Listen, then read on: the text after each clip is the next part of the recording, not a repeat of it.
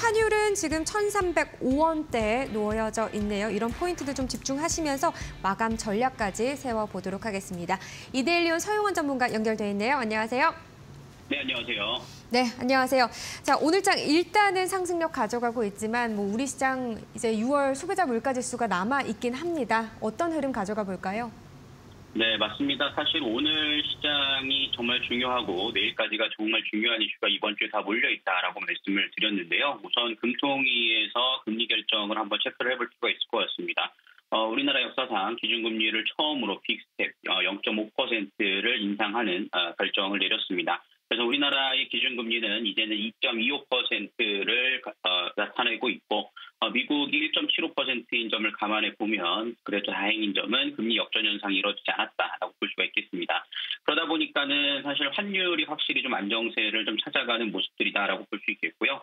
사실 빅스텝이 이루어짐으로써 좀 자금의 경직성으로 인한 우려감으로 인해 주식시장이 떨어지는 거 아니냐라는 우려하셨던 우려가 있었습니다만 오히려 좀 불확실성에 대한 해소가 어, 좀 반응을 하는 모습이었다라고 볼 수 있겠고요. 어, 거기에 따라서 시총 상위 종목들 위주로서 상승세가 잘 나타나 주고 있는 상황입니다.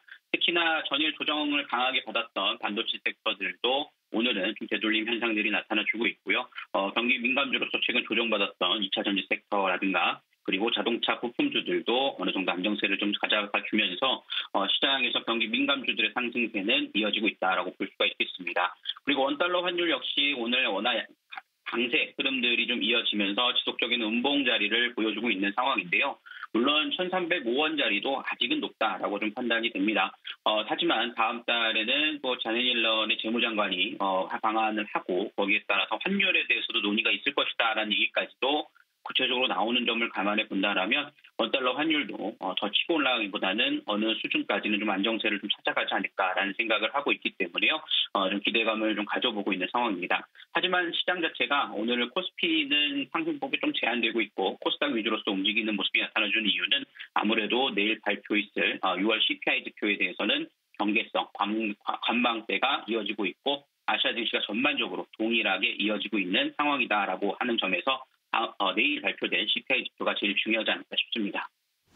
네, 말씀하신 것처럼 이제 6월의 CPI 지수가 이제 변수가 될 수 있기 때문에 가장 중요하다 이런 말씀을 해주셨는데 거기에 맞게 또 전략을 짜야 될 것 같습니다. 이번 주 오늘이랑 내일이 가장 중요한 시점이다 이렇게 볼 수도 있겠네요. 예. 네, 맞습니다. CPI 지표가 지금 생각보다 높게 나올 것이라고 예상을 하고 있기 때문에 다시 한번 시장에 충격을 주는 거 아니냐라는 우려감을 좀 갖고 있는데요. 어, 저는 사실 지금 뭐 CPI 지표 높게 나올 것으로 예상은 되고 있습니다만, 어, 이 CPI 지표 소비자 물가 지표의 가장 중요한 어, 섹터라고 본다면 국제유가가 가장 큰 영향을 미칩니다. 어, 하지만 6월 달의 평균 가격은 한 115불 선에서 머물러 있는 상황이지만 7월 달 들어서서는 그래도 100불 이하권이 좀 나왔다는 점을 감안해 보면 6월 10회 지표 이후부터는 어느 정도 좀 안정세가 나올 가능성이 높다라고 좀 점쳐지고 있는 상황이고요. 어, 특히나 이번 주에 또 조 바이든 대통령이 어, 중동을 방한해서 방문해서 어, 또 유가에 대한 어, 공급에 대한 이슈가 좀 해소될 것으로 좀 예상을 되고 있기 때문에 국제 유가가 100불 아래로 지속적으로 이어진다라면 피크아웃이 어, 좀 주목돼 받을 수 있지 않을까라고 생각을 합니다. 한편으로 국제 유가가 하락을 하게 되면 반대로 어, 또 경기 침체로 가는 거 아니냐라는 기사들도 상당히 많이 나오는데요.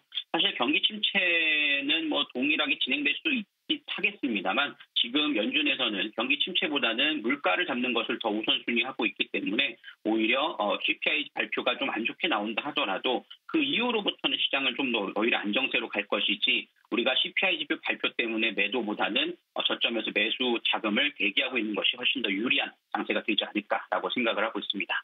네, 현금을 확보해두는 것이 중요하다. 이 포인트 계속해서 짚어주고 계시네요. 말씀하신 원달러 환율 같은 경우 1,310원대에서 지금 1,304원대로 그래도 다시 한번 안착하는 시도가 보여지고 있고 유가 같은 경우는 100달러 아래로 내려와서 WTI는 지금 95달러 선에서 나와 있는 상황입니다.